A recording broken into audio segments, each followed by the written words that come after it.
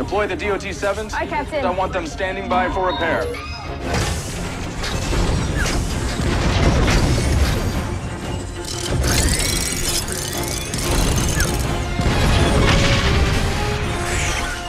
This thing is gonna blow in 90 seconds. There's an emergency lever for the blast door. I can bring it down manually from the inside.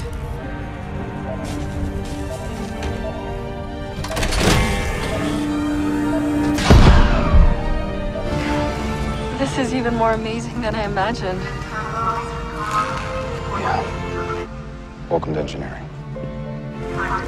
Now, in battle, any crew member might be faced with a life or death choice.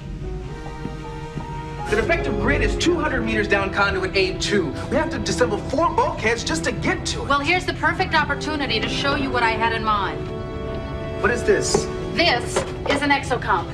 The experiment I was telling you about.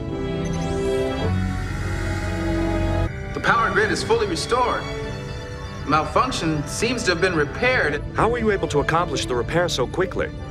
I'm not exactly sure. It's very impressive technology, that's for sure. Once it's out of the experimental stage, there'll be plenty of applications. Commander, I'm hoping the experimental stage is over.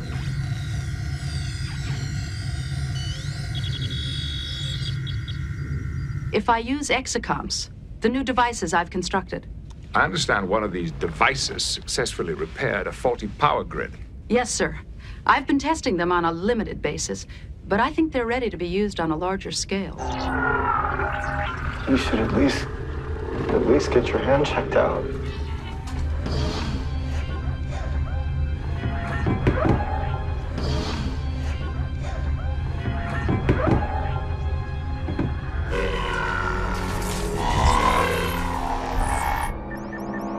Made from scavenged Starfleet tech.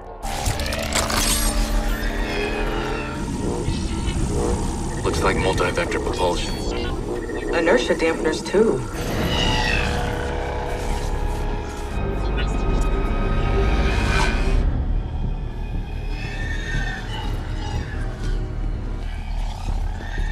When I suspended the counterweights, they hung me upside down like a bat. Utilizing its extraordinary capabilities, acting as our hands and eyes in dangerous situations. If it were a box on wheels, I would not be facing this opposition. Geordi, are you implying the exocomp exhibited some form of self-preservation? Of course not.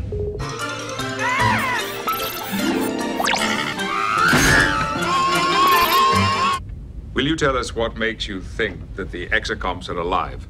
Sir, when the exocomp left the access tunnel prior to the explosion, it may have been attempting to save itself from destruction. Self-destruct sequence completed and engaged. You're claiming that this exocomp may be alive because it demonstrated survival instincts, right? Yes.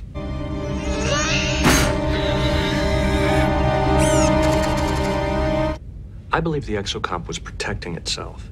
And if that is true, it has demonstrated an awareness of its environment and an ability to adapt to that environment. You're anthropomorphizing these units.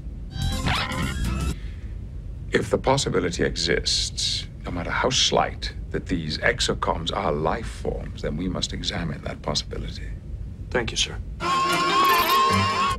Data, we've been through this. We tested the exocomp and it failed.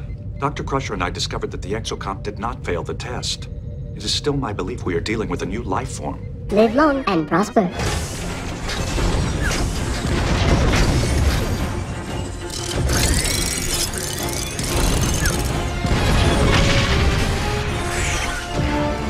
This is even more amazing than I imagined. Yeah. Welcome to engineering. Now, in battle, any crew member might be faced with a life or death choice.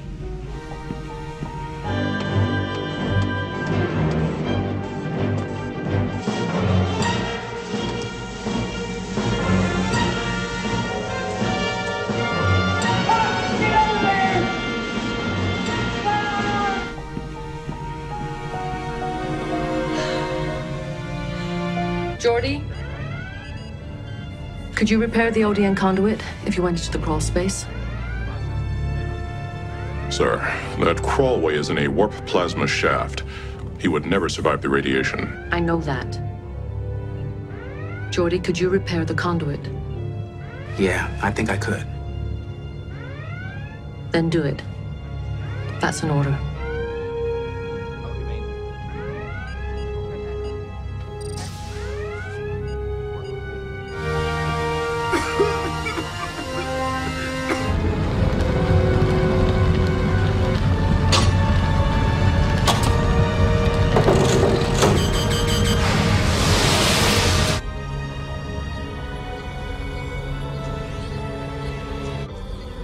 Forgot what a handsome guy I am.